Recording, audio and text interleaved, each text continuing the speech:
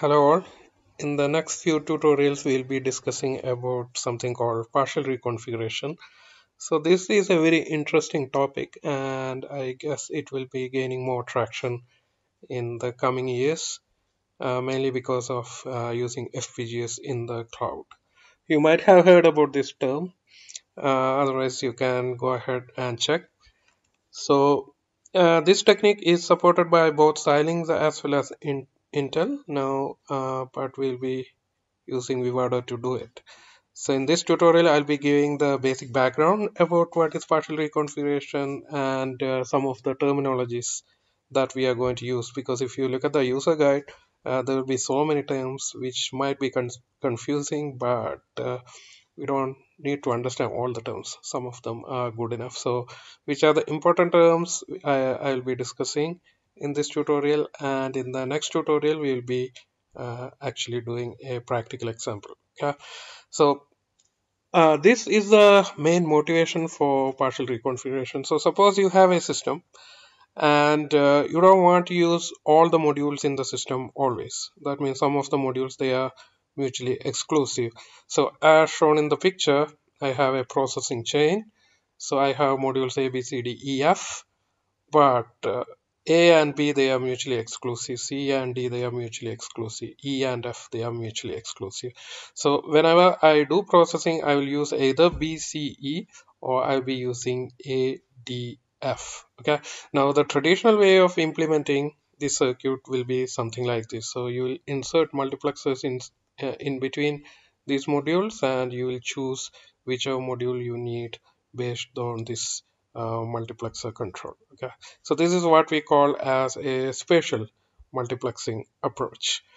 Now partial reconfiguration it provides an alternative for this where we are going to use uh, temporal multiplexing instead of spatial multiplexing okay? So here the idea is you will be modifying only part of the FPGA instead of reconfiguring the entire FPGA fabric so uh, that is the definition for partial reconfiguration. So selectively modifying portion of the FPGA uh, instead of reconfiguring the entire FPGA.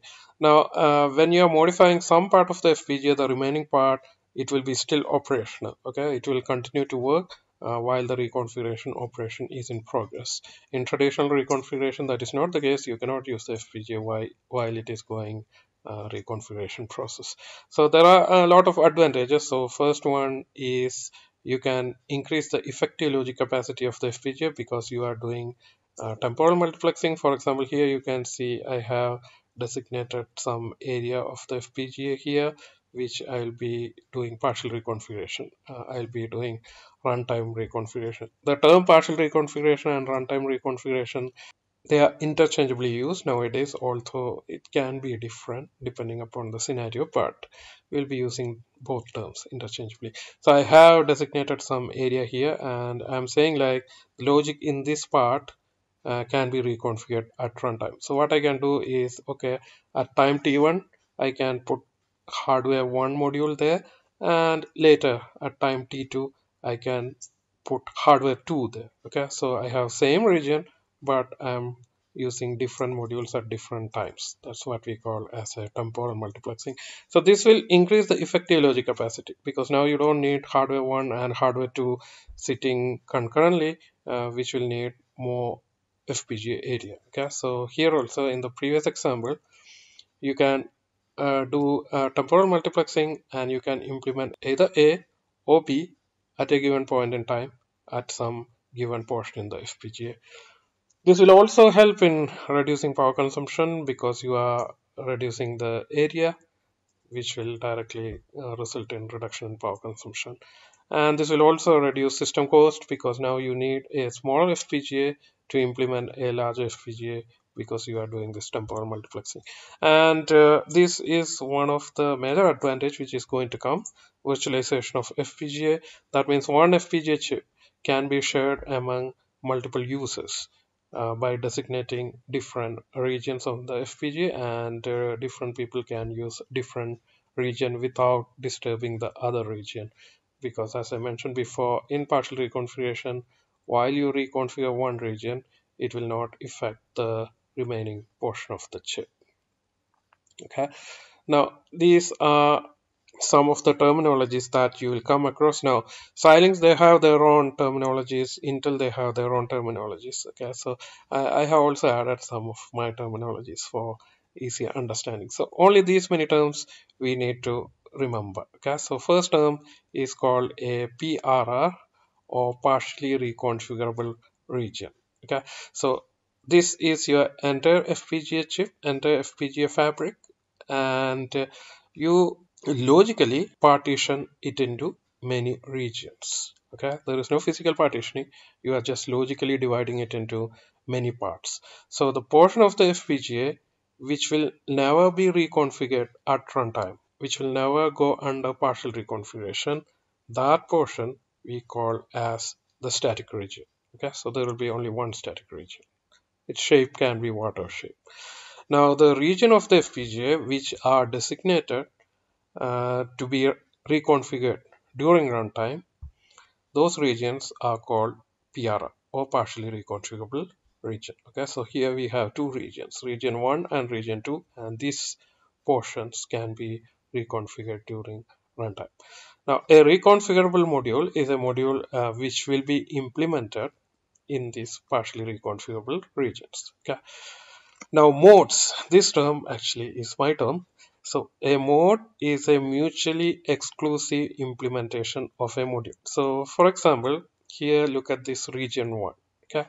Now I'm going to implement a module called B in this region, but B will have different flavors. Okay. So uh, when we take an example, it will be clear to you. Uh, for example, if I am doing a modulation, so I will call my reconfigurable module as a modulator but I can do different kind of modulation. I can use uh, QPSK, I can use FSK, I can use BPSK, different kind of modulation, but all of them are called the modulator module. Okay. Now, different implementation of that same module, PSK, FSK, QPSK, I'm going to call them as different modes of that module. Okay. So B is my module here, but B can have different mode, but at a given point in time only one mode of B will be running at this region. That means all these modes they are mutually exclusive. So same way here I have a module A which has two modes but either mode 1 or mode 2. One of them will be present at a given point in time. Now configuration, again this is a science term. So it is a set of coexistent modes that make up a functional processing chain. So as I mentioned before, only one of the modes exists here and one of the modes exists here. Now uh, the combination of the modes that exist that we call as a configuration. For example, B mode 1, A mode 1 together with the static region that will make one configuration or B mode 2 a mode to along with static region it will make another configuration so and so forth. So if you if you look at these uh, modes the total number of possible configuration is the cartesian product of number of modes that exists in each region. So in this case i will have three cases here i will have two cases here total i can have three times two six different configuration. But practically maybe all those configurations are not valid. You won't be using all of them for processing but theoretically six are possible.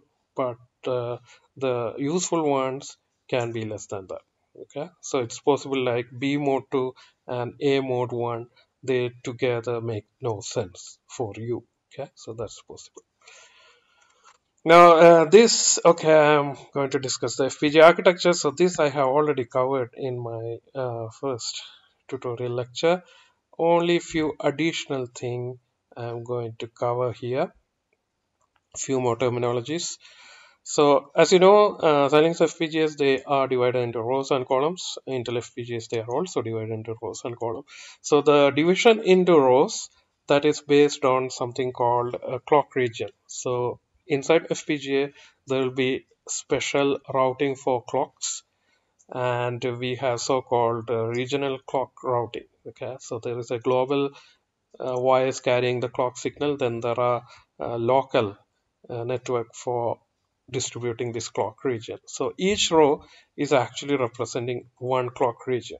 All the elements in that region uh, are managed by one clock tree okay so that's how we have different rows similarly we have different columns okay columns as you know they are divided based on the type of resource so you can have a column of clb you can have a column of dsp you can have a column of bram these are the three kind of columns currently available in Xilinx.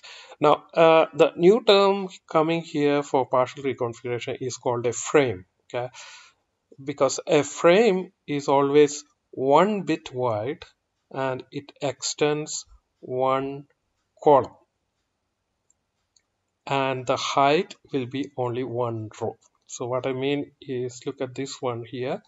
So this is a frame and this is only one bit wide and its height will be always one row one row. And this frame is used for uh, configuring a particular kind of resource. For example, this frame is used for configuring CLBs.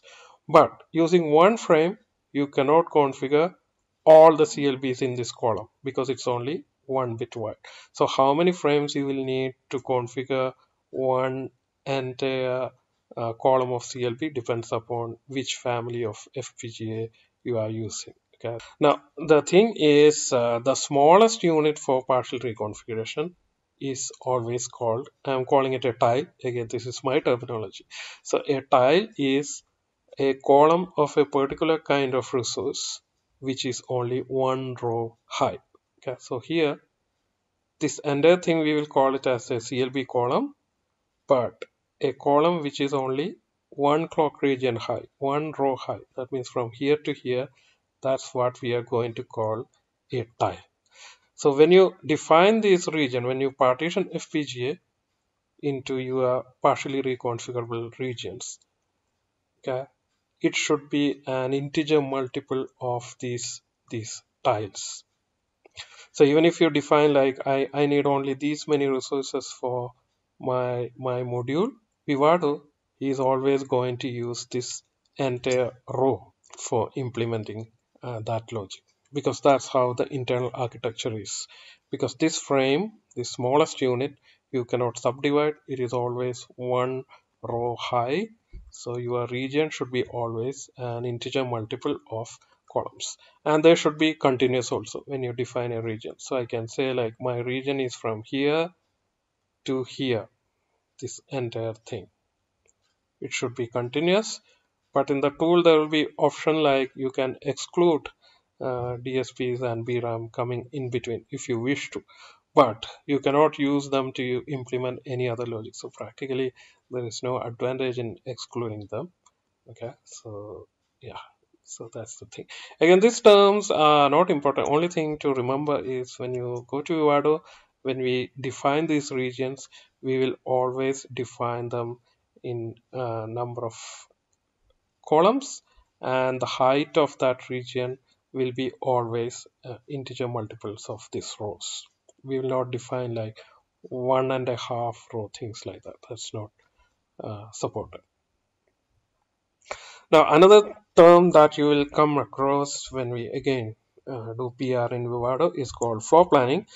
So as I mentioned before, we need to uh, logically divide our FPGA into partially reconfigurable region and you need to tell Vivado where in the FPGA fabric this region should be implemented. That's what we call as floor planning.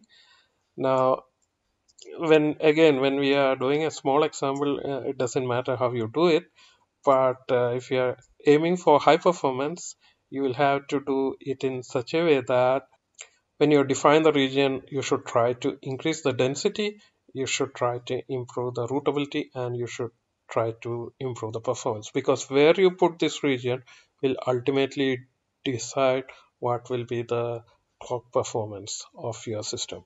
More details again, these are more or less research topics. You can read research papers if you are interested, but we will be doing some practical example. Okay, so again, as I mentioned, what all things we should consider when we do floor planning. So one uh, mandatory condition in Vivado is the regions that you define they should be always rectangular in shape and their height should be always in number of device row, which I already mentioned. So when you do partial reconfiguration, we will always reconfigure one entire region. Even if uh, there is minor change in the module which is implemented within the region, it is not possible to change only that part, uh, at least in the flow that we are following. There is a different flow where you may be able to do it. But in the flow that we are following, you can always modify only one entire region. So that's why we need to try to keep the size of the region as small as possible, as compact as possible. At the same time, the region should be big enough to implement the module uh, in that region. Okay, so if your module resource requirement is 100 CLB, your region should have more than 100 CLB. Otherwise, that module cannot be implemented there. And again, as the size of the region increases, the size of the bit stream. Okay, so that's another thing that we are going to see. So Vivado, he will give you a so-called full bit stream, which we have been using all this time. He will also give you something called partial bit stream because runtime you need to change only one part of the FPGA, one portion of the FPGA. For example, here you want to change only this part. So Vivado will give you so-called partial bit stream which can be used for changing only this region without affecting any other region. So that size of that bit stream is also proportional to the size of the area. It is not like uh, constant for a given FPGA. So again, that's why we need to keep the size of the region smaller. So again, this is a practical example, the one I mentioned before. This is a processing uh, chain for an OFDM transmitter. So you can have different modules here. We have modulator, pilot insertion, preamble insertion, and IFFT. But uh, I can have different kind of modulators, QPSK, QAM, uh, QAM1664. I have different kind of pilots. I can have different kind of preamble. I can use different IFFT. And each valid combination of them is representing a configuration. This is the one I mentioned before. So I have three kind of modulation. I have three kind of pilot. I have three kind of preamble. I have three kind of IFFT. So theoretically there should be 3 times 3 times 3 times 3 those many configuration theoretically but practically not all combinations of uh, pilot and preamble works together. So we need to choose them. Only the valid one. So when I do like that uh, only there are nine valid configuration. Okay so this is one configuration this is one configuration so on and so forth. And we are calling it by some name. Again interested people you can read this paper and uh, you will find like how it is done. Okay so now some of the practical things. So how we are going to do it in Vivado. Now one thing to remember uh, if you are using Vivado web edition it will not support partial reconfiguration. It is uh, licensed separately. So if you are using web edition by default PR will not work. You may have to buy a separate license. You can try Xilinx uh, university program they might be giving it for free if you are a student. Now if you are using system edition vivado uh, the license comes with vivado. You don't have to install any separate license okay? So when we do uh, pr design uh, again we will see it is not entirely supported in GUI you have to do part of it in GUI and part of it in Tcl or you can completely do it using Tcl script we'll be using part of it in GUI and part of it in Tcl so that things are much clearer uh, until you become experts on it okay? So first thing that we are going to do is we will have to generate the netlist for the static region and the reconfigurable modules. That is the first thing we are going to do. And the netlist uh, they are called uh, DCP files in Vivado design checkpoints. So we will create the netlist for the static region. That means the region which is not going to change and the netlist for the reconfigurable module which will change during runtime. And we will save all this netlist. After that we will have to do the floor planning. You have to tell Vivado uh, where are these reconfigurable region within the FPGA fabric. So that we have to tell. Later you have to combine the netlist of the static region and the netlist of the reconfigurable modules together uh, to generate valid configuration. Okay, so only for the valid combination, we combine the netlist. Then we will place and route the netlist. After place and route, we will save the placed and routed netlist separately. And from that place and routed netlist, you will remove the reconfigurable part and again save the netlist. Why that is important, again, I will explain you when we uh, do it in practice. Then uh, we will combine the other reconfigurable module because you already took some modules, you created one configuration. Okay, you are done with that configuration. So you will remove the modules, the mode, the one we used, and you add a new mode and you will again generate a new netlist.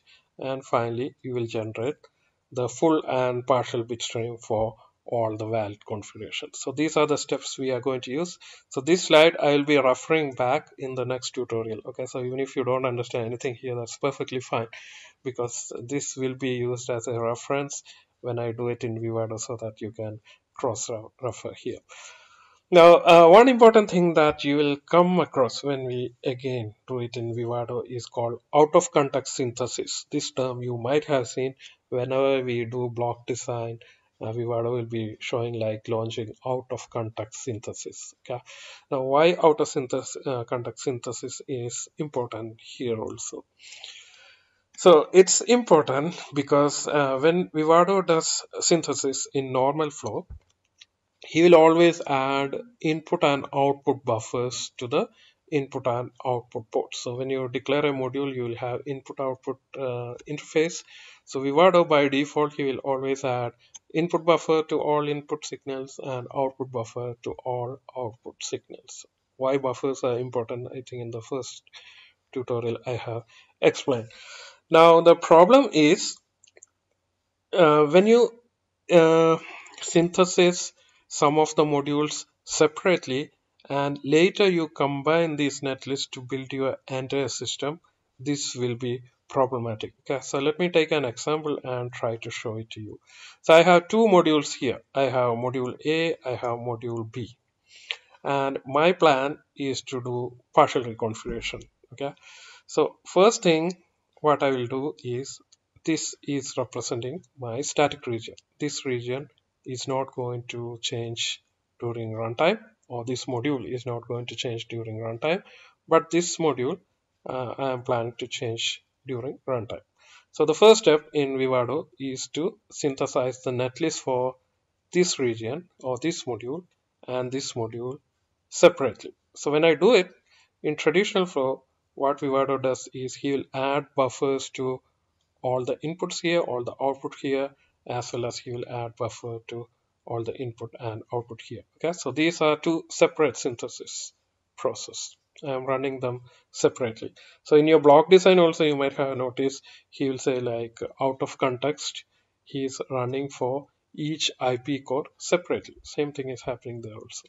So I uh, generated the netlist separately. After that I will have to combine them together before placement and routing. Okay, so when I do it, this is what is going to happen. I will try to combine the netlist the problem is you cannot have this input output buffers for a module which is used within another module. Because physically these buffers they are sitting next to FPGA pins. So for the topmost module that perfectly makes sense because the input output they are connected to external world. They'll be coming through pin so they can come through the buffer no issues. But this module which is instantiated within the module A. Within the static module, these buffers are not possible because inside the chip, physically they do not exist between these uh, routing wires within the chip. So you need to tell Vivado that when he is synthesizing, he should not insert buffers. Okay, so that is what we call as out of context. So if you tell Vivado, I want to synthesize a particular module in out of context mode. He will synthesize it he will generate the netlist he will generate the dcp file but he will not insert the input output buffer. So that later you can stitch these two netlists together and you can build a single netlist. And this can be actually implemented. Okay? So that's all in this uh, introduction. So next tutorial we'll be doing a practical case we will be doing uh, the same image processing example uh, to demonstrate how to do partial reconfiguration thank you